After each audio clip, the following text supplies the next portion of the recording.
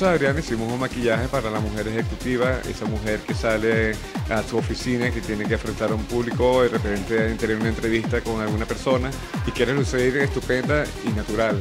Utilizamos colores neutros, colores que resalten la textura de la piel, eh, sobre unas tonalidades bronce y unos marrones claros. Para las mejillas aplicamos tonos hacia los melocotón que produce esa sensación de frescura y naturalidad y radia como salud en la piel. Los labios los aplicamos unos tonos rosa claro que se lucen bastante bonitos, de un color alegre, que no es tan sobrio y te transmite frescura en el maquillaje.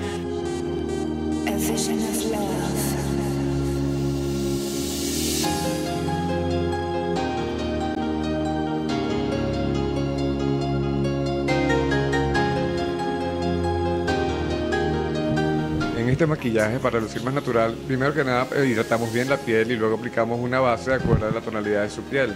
Aplicamos el corrector eh, ligeramente.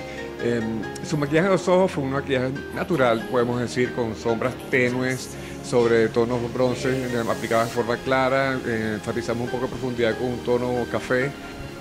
A sus mejillas dimos un tono hacia los, hacia los mm, duraznos, como un melocotón que suaviza muchísimo, le da muy buena apariencia y tersura a la piel.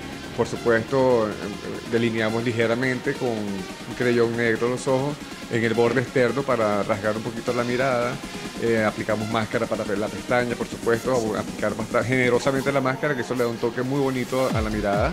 Y para sus labios aplicamos un tono rosa, como un rosa viejo, que es un tono muy bonito, funciona para el maquillaje del día a día de esta mujer ejecutiva, que emprendedora, que está en su oficina y que quiere lucir estupenda a toda hora mientras trabaja.